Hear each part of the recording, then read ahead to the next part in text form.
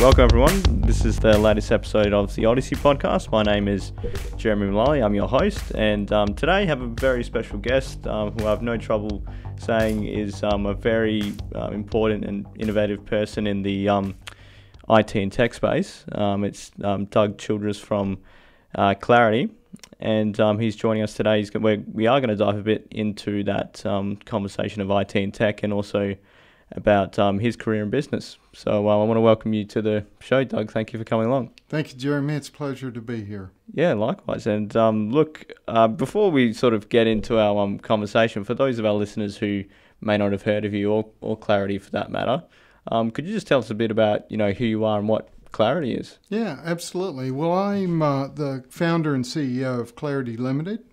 Uh, started the company in 2015 conceptually and I wanted to build the first technology platform that could be sold like a utility. So, similar to electricity, water, and gas. We don't really uh, consider how it's delivered, we just want to consume a product. Technology's been very complicated for many, many years. It's been very fragmented and delivered by multiple vendors. So, what I wanted to do is to build a offering from one vendor that brings everything technology together and sell it as a service. We started that in 2017 and quite pleased to say that uh, 30 June this year we cracked the 3 million revenue mark. Uh, we're acquiring businesses, growing nationally, and uh, it's been quite successful. Yeah, that's very exciting, Doug. And and like I sort of mentioned in the you know preamble, you are I do see you as an innovator in that space based on the way you've you've structured things. But your introduction into that space wasn't with Claratti, it was before that, right? So I'd love to hear how you did get into that space of tech and, and IT. Where, where did that start for you? Yeah, look, it goes way back. So, age 24, I started my first computer company. Uh, I left a six figure job in the US because I believed that PCs were going to be a thing of the future. Uh, PCs hadn't been invented at that time. Not Microsoft Windows wasn't even around. Uh, the internet was not even thought of. And um, I saw that, you know, this personal computing thing could be a big thing. So I started my first company age 24, ran that for 14 years, kind of burned myself out. Um, learned a lot of lessons along the way. Uh, ended up, that company failed. And it failed for a good reason. And I'll go into that in a little bit when we talk about some other things. Yeah. Um, but I really found that that was the niche. That's what really made me tick was coming up with technology solutions to solve problems.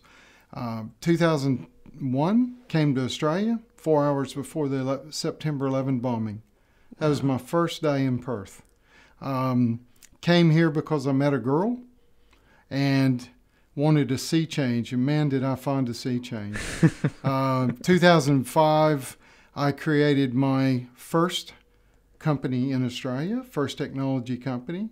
Uh, became a licensed carrier. Never done that before, but I thought, well, let's make it happen. We were the first licensed carrier in Australia to deliver a managed solution all the way to the telephone. Um, so I had a great career there, uh, kind of in that next business. But I've just found that where my niche is, is I'm an inventor, entrepreneurial person that's born with a kind of a spirit to lead and a passion for technology. Fantastic. And and look, uh, let's. There's a lot of stuff I want to talk about, but yeah. I, I, want, I do want to start at that beginning point because a lot of people who have um, you know been previous guests on this show and a lot of people that listen to the show um, do have that entrepreneurial drive, of course, but especially from a younger age. So, like you said, uh, it was the age of 24 when you made that step. Um, I sort of want to dive into, uh, I guess, where you were in that, that, that kind of headspace. You know, like making that jump, and, and like you said, it, it was it was a time when it, there wasn't that certainty of what you know the future of PCs or the internet would be like. Um, I just want to get an idea of like where you what where did you get the courage for, to do that, that yeah. make that kind of leap? That's a great question because I had a small family at mm. the time. My daughter was about uh, one and a half years old uh, I had a company car and was in a really good paying technology job. Um, and I thought, why would I do this? Uh, I spoke to my dad and he said, Son, you're leaning over the edge of a mountain. Either grab my hand and I'll pull you back or leap off the edge and you know, take a leap of faith. Mm. Uh, it was a scary thing that I did, but I thought I know how to deal with the technology side of it. But what I found was a very tough lesson. I had no clue about how to actually run a business, what a balance sheet was, how hard it was going to be to find capital, and a lot of those other elements. And uh, it was a real struggle outside of the technology side of things. Uh, and that's the reason I think that business failed in the end because the business got so big and I'd missed the fundamental parts of running a business, not the technical aspect. Okay, so that's interesting. So, in a sense, your business was growing in a way, but it was growing out of your control. So that even though um, you may have been you know, had certain uh, turnover or whatever, or, or, size of the company, there were you do you feel like there was missing like a foundational uh, element to to the business? Is that what you're saying? Yeah, absolutely. What I guess my if I look back and reflect on it, I was the chief cook and bottle washer. And the problem was is I needed people around me. I had people around me, but they were following my instructions. I didn't have the right people in the organization that could actually take responsibility for the areas of business. So I became the bottleneck. And what I didn't focus on was the cash requirement because all of a sudden here comes this thing called the internet and people wanted to connect to it. And back in those days, we had like these 56K modems. Right. And people were ordering these left, right, and center because they wanted to figure out what this internet thing was all about. So my business went exponentially through the roof. And then I realized, wow, there's a lot of capital investment required, there's a lot more people required, etc. And I didn't have that fundamental dollar backing to get me over those to actually jump the hurdles that were in front of me. Yeah, okay. I just want to dive into that part about what you said about the, having the right people around you and building that team because you have a very solid team now with Claratti. Yeah. When you um in that you know first iteration of, of your business journey, um, did you understand that at the time? Was it only in retrospect now that you do have such a good team that you're able to say, oh, you know, that's where the problems were. You know, like I didn't have, you know, the, either the right people, I didn't have the right relationships with people. Is yeah. It, yeah. So I'll tell you when that became evident was yeah. when I was in bankruptcy court, and I was looking, and probably wasn't even then because that was the shock factor. Mm. We failed. Now what do we do?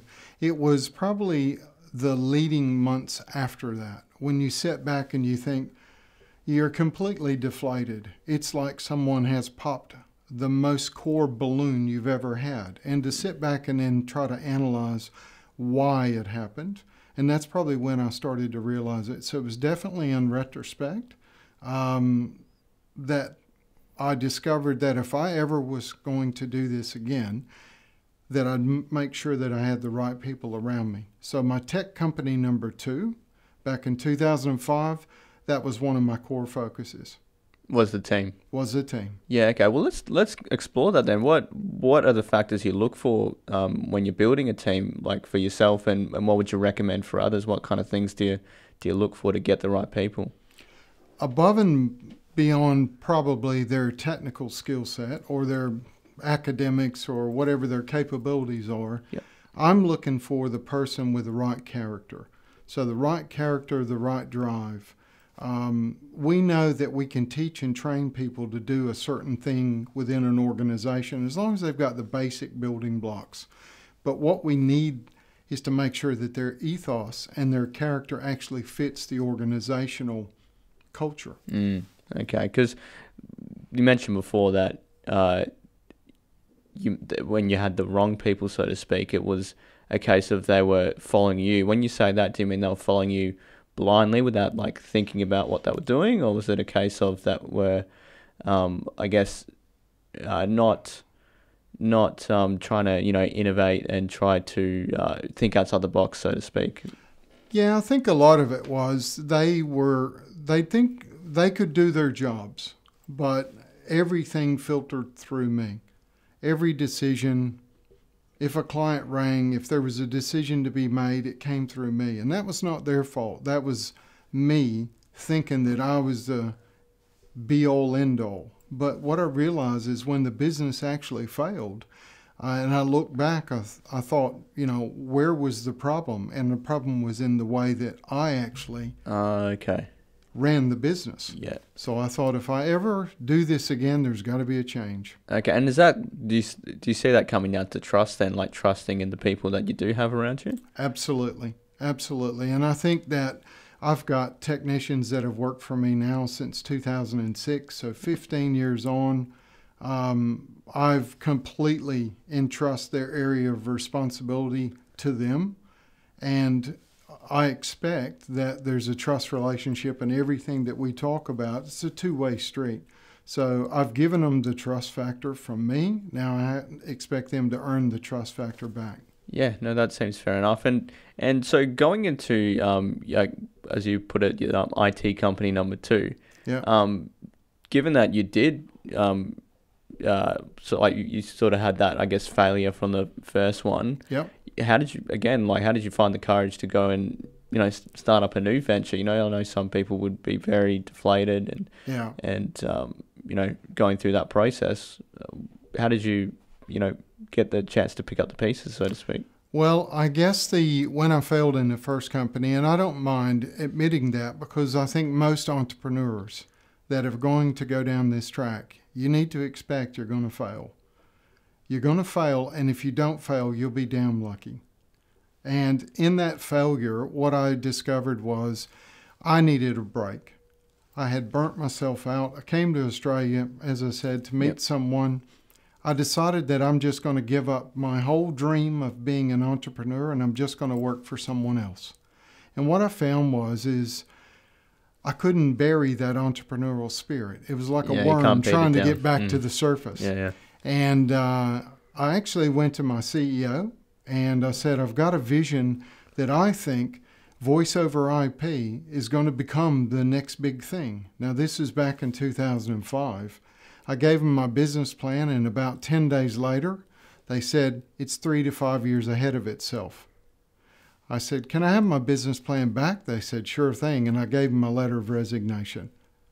Didn't have a job. I quit again. Within four weeks, I had investors behind me. We started that company, and eight years later, we sold it for $20 million. Fantastic. That's you know an excellent feat, like you said. It, and so, do you see that you do need to overcome those, uh, I guess, failures and, and challenges, so that you do, you know, th- th- there's always a positive at the end of that that tunnel. It is. And I think what you've got to do is be willing to accept looking at yourself, taking a hard look. Take a hard look because, you know, you're as much the leader as you are the obstacle. And I think that, um, you know, what really drove me to doing the second tech company was the fact that I believed in the vision to the point that I was willing to sacrifice yet another job to prove a point. And on that, I actually went to the investors and I said, I am so confident I can do this. I won't take a salary for the first year. Wow, and did that, I guess, give them a lot more confidence in It what you were saying? Yeah, It yeah, did. yeah. Okay. Yeah. Yeah, and while we're in that era, because uh, one of the things I definitely wanted to ask you about was um, making that move from the states and coming to Australia, because there's a lot of people. I mean, Australia is kind of that, you know, uh, melting point. Uh, uh, you know what I'm trying to say. uh, you know, of having people who are, you know, from all sorts of different countries around the world, um, who are, you know, working here. They start businesses and, and so on. Um, could you describe your journey of doing that, even though uh, you didn't move over to start a business, but you, you did eventually do that, you know, a couple of years later. Yeah. Tell me what that journey was like for you. Look, it was really tough. Um, my first business, through the whole failure side of things, we I went through a divorce. I ended up uh, leaving the country, meeting someone over here. But the toughest challenge was actually leaving my two children and my family behind. Um, I had a belief that I'd be able to come back, you know, every few months and visit, or at least once a year, and get my kids to come across. That become a tougher challenge than what I thought, just because of cost and all the things involved. Um, so probably that would have been the hardest thing that I had to deal with. But the The other thing that was really tough was for the first two years in Australia, I came from a culture where it was both people working as hard as you can possibly work, a pace of life that's like 10 times faster than what it is here in Australia. Now, all of a sudden, I've gone from this hectic lifestyle to a very relaxed environment, which I love.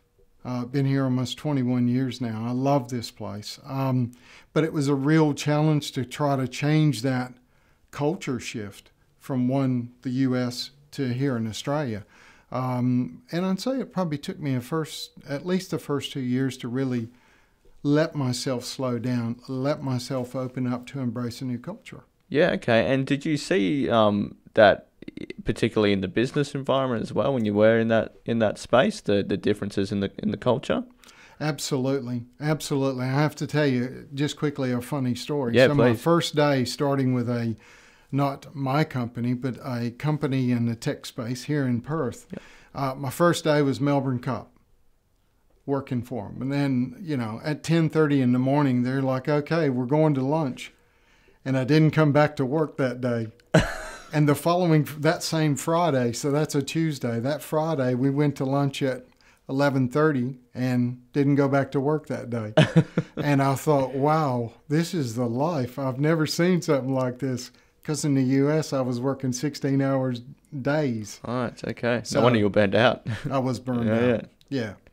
Yeah. Okay. Um, uh, do you see any other, um, you know, differences and maybe even similarities between the, you know, the business culture um, from where you're working in the States versus here in, in Perth?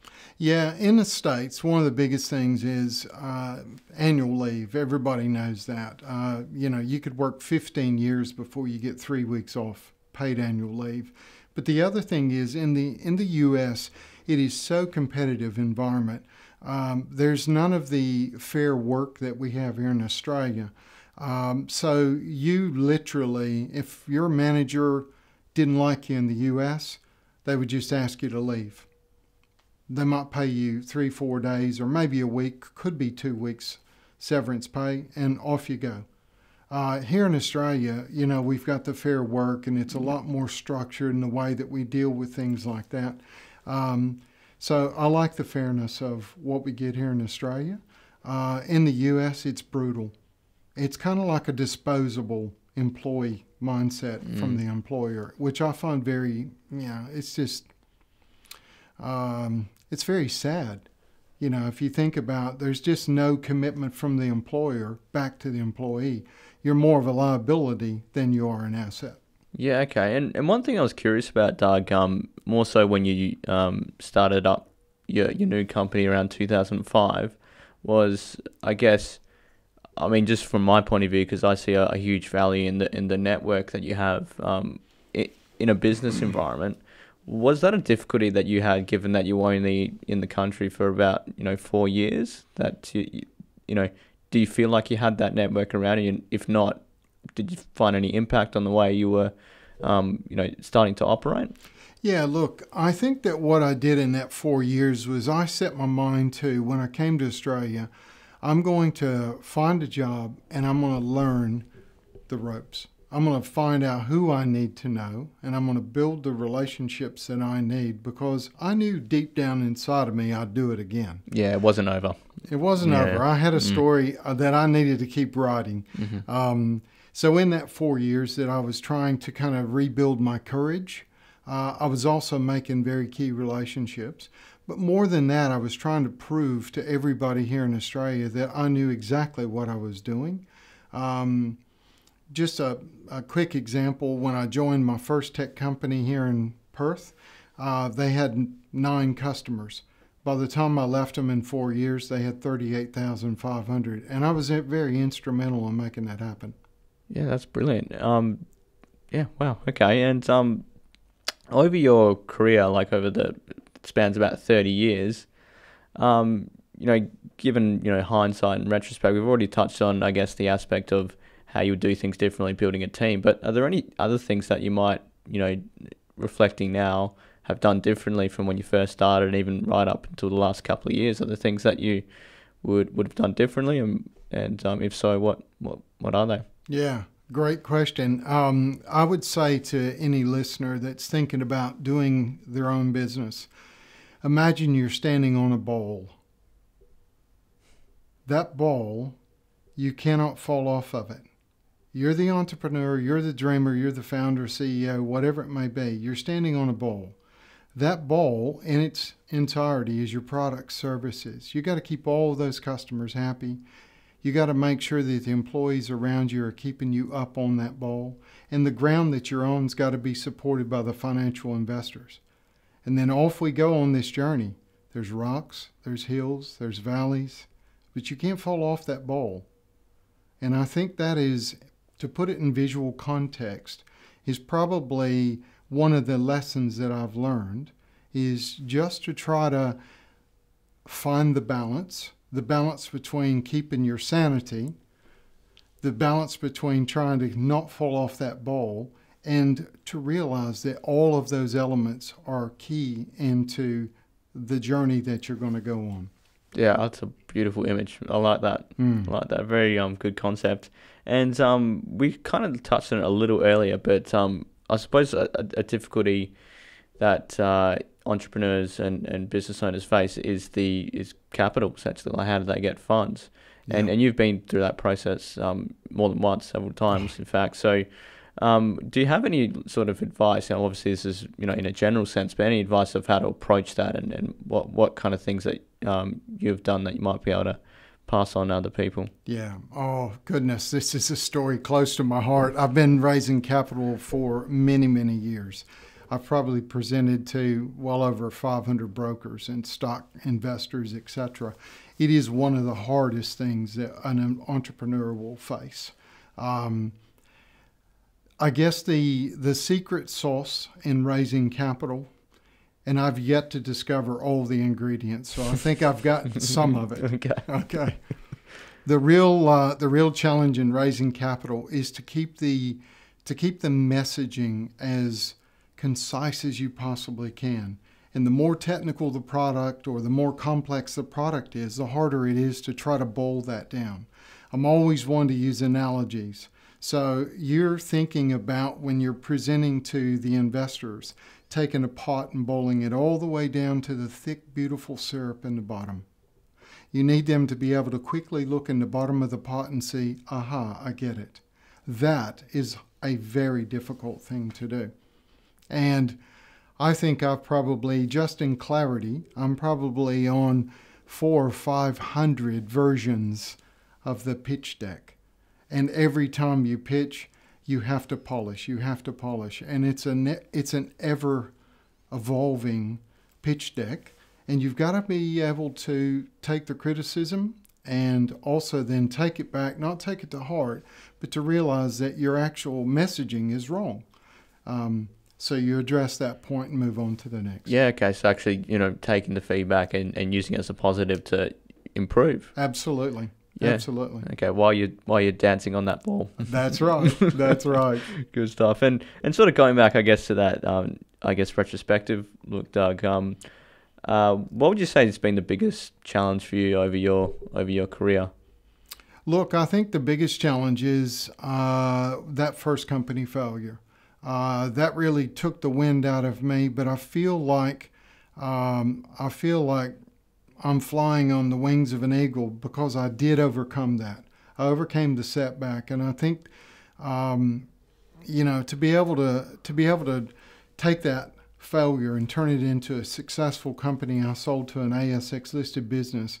That was just like that gave me back all the strength that I'd lost in the first failure yeah, so keep like just improving and and uh, restoring that confidence that you, you, you initially set out at the age of 24 with, huh? Yep, yep, yeah. absolutely.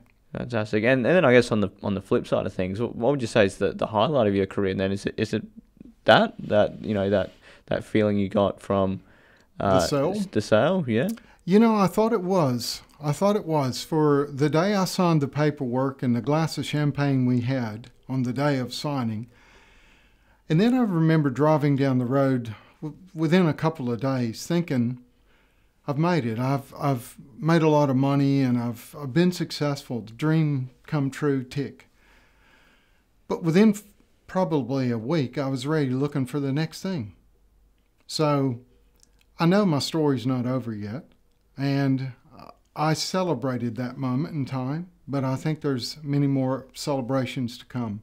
Okay, so I guess the, the, the highlight is yet to come. It is yet to come. Okay, well let, us talk about that then, Doug. Like, what what is um what's the future of um well Claratti? We can start on that, but then I guess for yourself, um I mean when just before we started recording, you you mentioned some exciting news. Do we want to maybe touch on that first? Yeah, I would. So Claratti's product was built for global scale. Mm. Uh, it's a it's a concept, uh, and what we're seeing now is a lot of partners in other parts of the world. We've already tested it in five countries successfully. Um, we've just opened our Claratti India. that'll be our first international expansion. Fantastic. Uh, and we've got four or five other ones lined up for the next couple of years. Uh, my view is, and I know this is a big mountaintop to get to, is I want Claratti to be worth $1 billion by 2026. Okay, wow. That's big vision, big, big goals. Yeah. Yeah, yeah. And. Yeah. Um, and that's, I guess, Claratti. But for yourself, Doug, um, beyond that, what what do you, what's the future look like for you? Yeah, I my kind of utopian position will be to make it to an ASX or NASDAQ listed board. I want to be a chairman. I want to be an advisor to a board. Uh, I want to give back. I want to give my knowledge and expertise to upcoming entrepreneurs, uh, to tech companies, uh, to be an to be an asset, to share what I've learned along the way with others. Okay, fantastic. Again, look, I know we've only really scratched the surface, but uh, we, we do need to transition into to the fun half of this right. conversation. So, not that we haven't been having fun. At least I, right. I've been having fun anyway. But um, uh, just for our listeners, this is the part of the program where we um, discuss uh, a film of our guest choice, and that's, that's obviously you today, um, Doug. And the reason I do this is because I feel like, um, well, number one, it's part of my brand, but it's also I feel like you can learn a lot about a person from uh, the films that they like or enjoy, or even in fact the films they don't like, ones that they maybe um, never want to watch again or, yeah. or kind of not like very much. But listen, the the one that we've um, selected today after talking, Doug, was um, the film um, Trainwreck. Um, so do, do you want to give a, an overview of what um, Trainwreck's about? Yeah, look, uh, it, what I like about the movie, first off, is I'm a big fan of Amy, Amy Schumer. I know she can be a little bit... Uh, uh, X-rated at times, but she's a hilarious comedian. I think uh, she wrote the film, she and did, I yes. believe her and Bill Hader have excellent chemistry in this. And I think Bill Hader's another great actor. Uh, pretty much, he's underrated in my. I think view. he is, I, isn't I, he? Yeah, yeah. yeah. Like I, I've, to be honest, I've not seen too much of his work, but especially that film, I was like, yeah, you know, he's got yeah. He's got something out there, but um, but I guess for those who haven't seen the film, just a, a quick rundown of of what it is. It's um, Amy Schumer plays a, uh, she's a columnist for this kind of um, what would you call it? like a sort of smutty kind of uh, magazine, magazine, magazine yeah. I guess, and um, and she you know she doesn't particularly enjoy it, but she's living this life of you know partying, drinking, and she's jumping from you know, men to men uh, every other week or every other day by the yeah. looks of things. um, and then she uh, gets assigned to a particular story, which is around sports, which she despises. She doesn't like sports at all, doesn't know anything about it. Um, but she's doing a piece on a uh, orthopedist, I believe, who's um, uh, played by um, Bill Hader, and then and they sort of have this uh, love story that, that comes together. Um, but yeah, no, I, th- I found one of the things because I always try and find, um, I guess, some kind of message in the in the story. And one thing that really interests me, and I'd, I'd love to hear your thoughts on this, Doug, is the that kind of element of because uh, the the film actually starts um, as a flashback because she's hearing the, the her, her dad is going through this divorce and he's trying to explain why they're getting divorced and he's basically saying, you know, do, do you want to have the same doll every, every to play with the same doll, or do you want to have different dolls and you know different shapes and different sizes? And, um, and basically, he, he's something I was saying, you know, and this this is where this belief for her sets in. It's like yeah. you know, don't get married, like yeah. don't get tied down. Um, so I'd love to hear your thoughts on that, and like how something so, you know, something significant in someone's life at that age can have an impact for decades, like yeah. for years and years. Like, is that do, do you feel like you know, are there any cases in your life that's happened or you've seen that happen as well? Oh, most definitely, most definitely. I remember as a, even a small kid, five years old, I knew technology was my thing, and um, I remember taking our home telephone apart. This is one of the phones that used to dial Yeah, with yeah. your finger. Took a little longer than yeah. uh, you know just a mobile phone. yeah, there was no Siri back then. Um, I took that in a cassette report, recorder, took it apart, and I made a thing that you could actually record your heartbeat. Oh wow! Okay. And yeah. I just knew that technology was just in my future. yeah. what what um, age was that, by the way? Five. Five. Yeah, Gee a lot. it, it really was then. Wasn't yeah, it? my dad's like, "What did you do to the phone?" And uh, I ended up putting it back together, but it was just something fun to do. Um, but growing up on a farm, my dad he instilled in me and my brother hard work. You never give up. And one of his things, and my wife hates when I say this, is he would say, um, if it got too tough, he'd say, "Well, get in the house and put a dress on."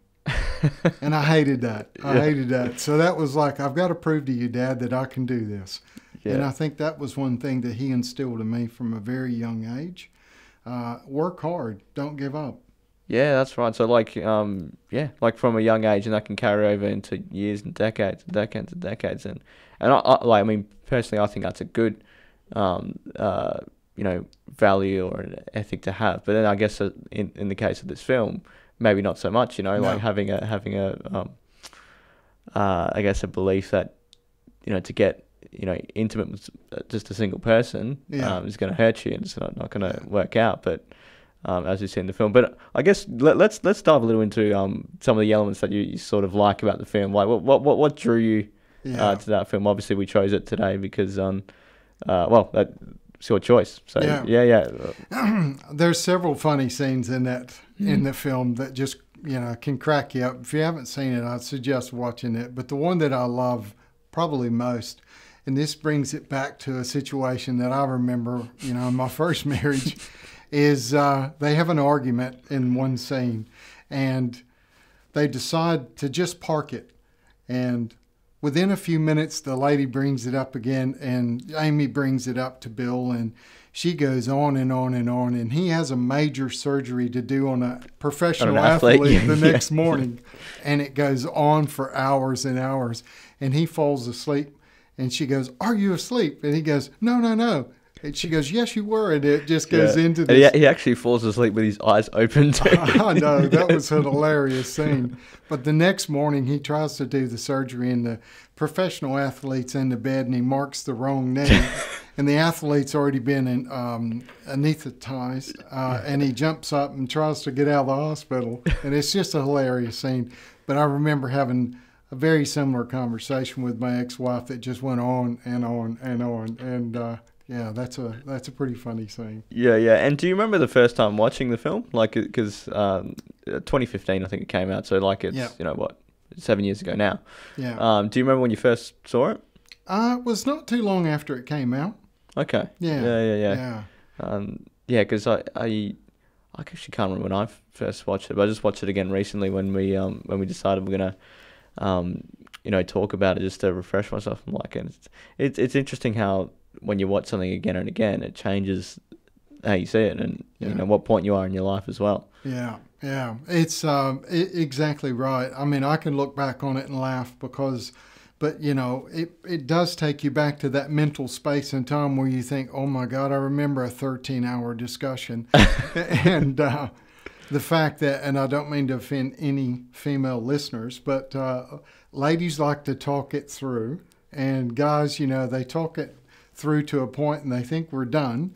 And uh, you're only done when the woman says you're done. Yeah, right. But I think I, think that scene as well. Um, I think it was it was kind of the um uh, Bill's fault as well because I think he was like, "Oh, my parents said you shouldn't go to sleep like angry." That's So right. he starts it, but then she goes, "Okay," then it goes on and on. And on. That's right. Yeah. Those were some words that I think he would have regretted uh, a few hours in. Yeah, yeah. And I asked you coming on because obviously there's a big sports bent to it, you know, given that he's uh, like an orthopedist for, um, uh, well, for lots of different teams, but I think specifically for basketball, um, uh, especially.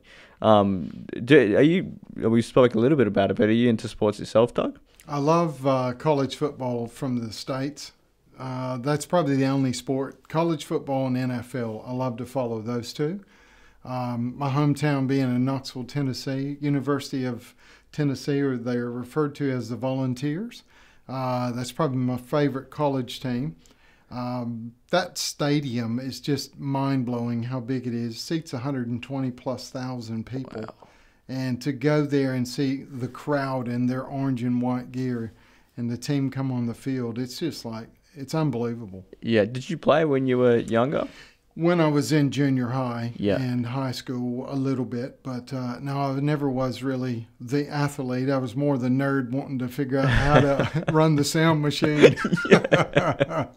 no, fair enough. And you yeah. also said you're into motorsports as well, hey? Yeah, I grew up on the farm and had a motorbike age. Oh my God, I think I had a gun and a motorbike at age five as well uh, little mini bike, then on to the dirt bikes. And uh, yeah, we just had a blast growing up, jumping things and trying not to kill ourselves. Yeah, but um, so you you don't follow any sports um here in Australia? Anything that's caught your eye or or doesn't quite match up to um yeah, football, huh? A lot. Look, I, I'd love to say I'm an AFL uh, fan, but to me, it's a and no offense because I think it's no, a great it's right. Game. Offend people, I don't it's care. A great game. but to me, it's like hot potato.